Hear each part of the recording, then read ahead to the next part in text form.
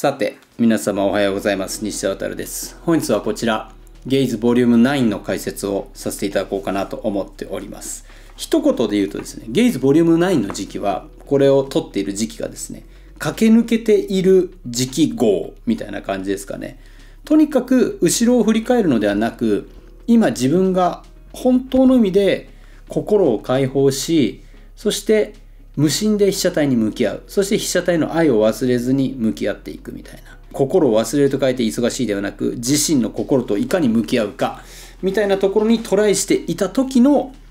号がボリューム9ですね。この頃になってきますとですね、1個前の号がこちら、ゲイズボリューム8がですね、M 型ライカのみで撮影した号、これは写真展ゲイズ、ライカプロフェッショナルストア東京で開催した時を記念した号になっているんですが、こちらのボリューム9はいろんなことを経て、その後にですね、こちら、カラブ関西をキャノンギャラリー、えー、銀座大阪で開催し、大成功のうちに終えたんですよね。6300名もの方にお越しいただき、いや、本当に感謝の念に耐えない思いと、あとは僕自身もこのプロジェクトを自分自身で全て取り仕切り、まあ、もちろんキャノンさんのね、お力添えをいただき、やり遂げたっていうね、キャノンさんも本当に感動していただいて、大成功の個展だった後、じゃあ次、僕は何に向き合っていくんだっていうところを、まあ、ある意味では探すと言いますか、自分、うちらの自己をまあ、ライカでやった、キャノンでやった、じゃあ次はどうするんだ、君は、俺はっていう、そういった時に、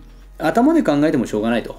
だからこそ、もう必死で走り続けようっていう思い。それを、まあ、カメラを通じたりしながらね、まあ、今までは、キャノンのこう、すべて R8、キャノン R8 というキャノンのカメラで撮っただけの、まあ、キャノンだけで撮った写真集。ライカだけで撮った写真集みたいな形でちょっとカメラ縛りを入れていたのでもっともっと自由にやっていこうよっていう。なのでこれとかは久しぶりにキャノンの SX708S っていうねコンデジを使ったりですとか。なのでまたコンデジとかの揺り返しだったりまあやっぱライカ持ち出そうかなとか。これとかその名残名残というか R8 で撮ったりっていう。実はですねこっちのよいしょ。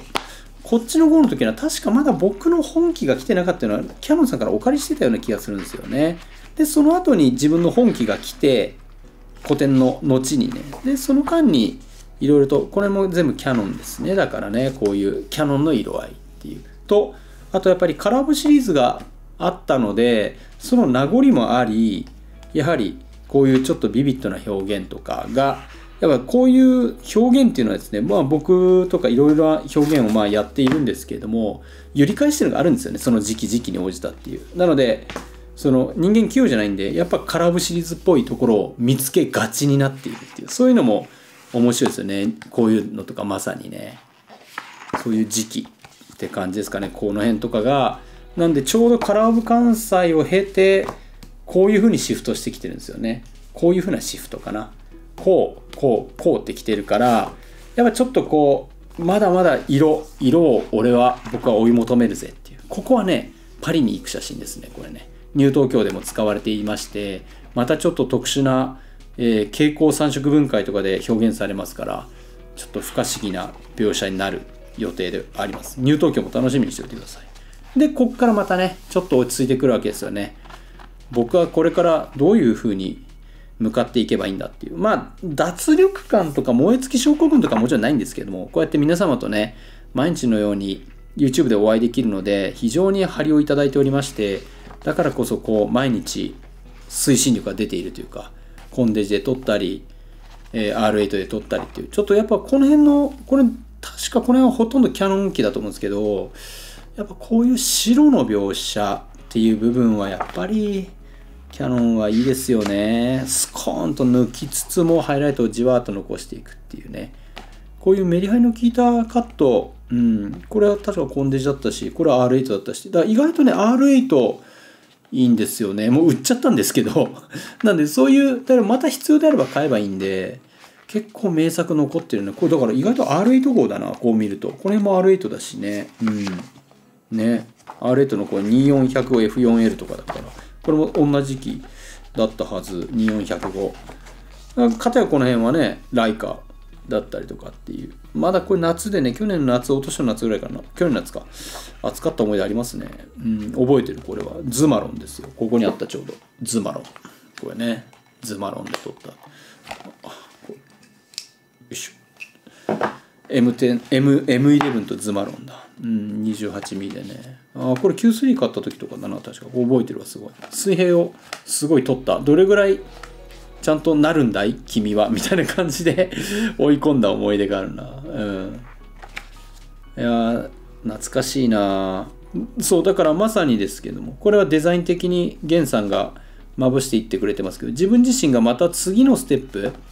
まあライカが終わりキャノンの色の世界が終わり自分は次どこへ向かおうかなっていう向かうための俗に言う写真的筋トレをしていた時代ですね。なので普通は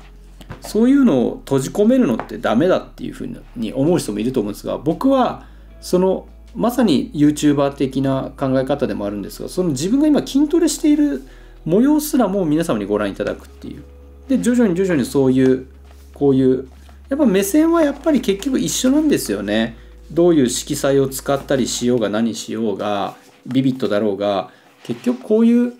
色彩を色彩というかこのこういう構図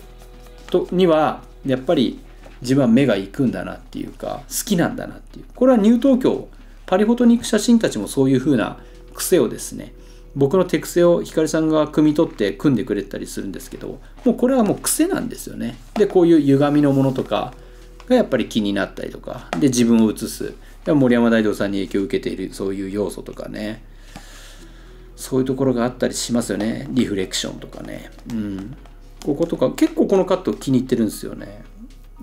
確か R5 にヨレルズミルクス 50mm をつけてあのキャノンとライカのハイブリッドでちょっと遊んでみようみたいな時でなんかこうスポーツメーカーニューバランスだったかなんだかナイキだったかちょっと覚えてないんですけどその時のスポーツメーカーのショーウィンドウをグイッと寄って奥ピンで持っていってるって感じですよね。こういうちょっとドーンとした対比っていうかね。この辺はコンデジ号コンデジだったりこれはもうスチールリムですね。こういうド派手な。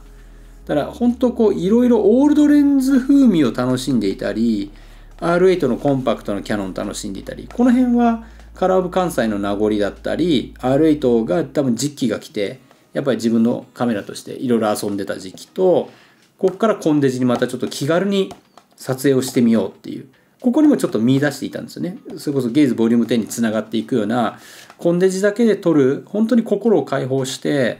撮影をしていくみたいな感覚っていうのかな。だからピントがあだこうだとかじゃなくあっと思った瞬間のそのあの瞬間だけを抑えていくような訓練を徐々に始めて何か見えてこないかなとかねそういうふうに思ってチャレンジしていた時期ですよね。この辺は覚えてるな。ちょうどえー、っとこれが去年だからそうだね。今これですね。これだ。iPhone 15 Pro が出てきてそろそろ16 Pro が出てくる時期なんですけど iPhone が出てくると絶対に iPhone でねローデータで撮ってどれぐらいデータが出てくるもんなんだいっていうのを絶対にゲーズには載せるようにしてるんですよね。だからおそらくこれがゲーズボリューム11、11になると iPhone 16 Pro のローデータっていうか撮ったスナップも多分どっかしらに入ってくるんじゃないかっていう。撮ろうと思えば必要にして十分にこうやって印刷のクオリティになるような写真が撮れるっていうところもね。もうコンデジですよまさに。1.23分の1のセンサーですからね。ただまあこのページを見た次の瞬間ね。こういうこれ M11 なんですけどとえー、っとこれスーパーエルマン 21mm なんですよね。このねスーパーエルマン 21mm が実は隠れアポズミクロンって言われててスーパーエルマン 21mmF3.4 なんですけどと M11 ね。ぜひねこれこの9買ったらここの今映像だと見にくいと思うんですけどこの辺のグラデーションぜひ見てほしいですね。マジかっていうぐらい。あのよく僕がねライカとかを表現する上であの黒の中に黒があるとかって言うんですけど恐ろしいグラデーション出てますからぜひとも、うん、これはいつ見てもなんかしびれるよなすっげえなっていう。確かしかも 21mm です。確か置きピンだったような気がするんですよね。置きピンで多分 F11 ぐらいまで絞り込めばもう全部ピント合うんですよ。21mm って。だから合わせたかな？いや合わせてないような気がするんですけど。まあまあうん。これはコンデジだね。これもなんか GR とか。だから徐々にコンデジおじさん化していき始めてる時期ですね。もう YouTube の動画でも一時期僕がもうコンデジ買いまくって紹介しまくってた時期があると思うんですけどその時期に徐々に入り始めてる、うん、カットだからゲイズボリューム10のなんかちょっと予兆予兆を感じるような作品群もあるって感じかな。うんこれもコンデジだしね。でも時々こうライカのズミルクスが入ったりこれエルマリートなんです。さっき言った 21mm ね。すっごいねメリハリの効いた描写するんですけどこれちょっと覚えてないな。うん。でもなまあなんかこの辺だとライカだろうなっていう感じはするけどあとあれだねスチールリムの解放だね、うん、このにじみ方ね。綺麗ですよねやっぱね。ほんとスチールリムも名曲なんだよな。色収差は抑えつつもにじむっていうね。これすごいですよ本当。にじむのに色収差は出ないっていうね。これ解放一点なんですけど。すごいんだよな。あこれすごい覚えてる。M11 でえっとこのズマロンで撮ってたんですけどこれ 28mm のズマロンで。で基板が実は壊れてて M11 が。いっつもオートで撮ってたから気づかなかったんですけどこの時はちょっとこうシャッタースピードを稼ぎたいか落としたいとかって思ってシャッターダイヤル回したらシャットダウンするっていう。シャッターダイヤルを回して例えば125分の1にセットしようとすると動かなくなるみたいな。それが初めて現れた時で実は壊れていたっていう。でその後 M11 を基板ごと総特化してもらいめちゃくちゃ調子よくなって今に至るっていう。そういう経緯ですね。この後にちょっとその予兆が出ていてあれ？って思ってて。その後に本格的にうんともすんとも言わなくなって修理に入れた思い出があるので、夏でしたねこれはね。非常に覚えてますね。これズミルクスの50ミリだな。うん M11 でね。いい描写するようなあの寄れるズミルクスね。なんで買ったんでいろいろ使ってた時期ですね。うん。なんでこう徐々にコンデジおじさんへ目覚める第一歩だったりちょうどこういう順番を経てライカライカ号キャノン号を経て経て次僕はどこに行くんだ？でどこに行くんだっていうところを頭で考えずに なドンティングフィールじゃないですけどもう本当体で感じるためにコンデジで撮ってみたりとにかく楽しいと思えるカメラを徹底的にまずは探してライカでもいいしキャノンでもいいしっていうであとは YouTube で紹介したいカメラとかでもいいしっていうね R8 とかね。そういうので構成した Go なんですけども今こう改めて見返した時にですもやっぱり改めてね小池源さんの組デザインっていうところが秀逸ですし僕自身もあの今見てもねこれが1年ぐらい前かな、うん、やっぱ常に今もそうだけど自分自身で改めて見てもなんか妥協して撮ってないなというか自分で言うのもあれなんですけどワクワクしながら撮ってるなっていうのがすごい伝わってくるしこの頃は良かったなとも思わないしだけどこの頃も楽しく写真撮ってたなっていう今日より明日がいい日だっていうふうに常に思えてる写真だなっていうふうに感じますよね。いやなかなかこのゲイズボリューム9もね素晴らしい写真集かなと思っておりますのでぜひ。えっ、ー、と在庫今切れてましたが補充しておきました。ので気になっている方はぜひお買い求めいただけたらと思っておりますのでよろしくお願いいたします。参考になる幸いです。それでは失礼いたします。西田太でした。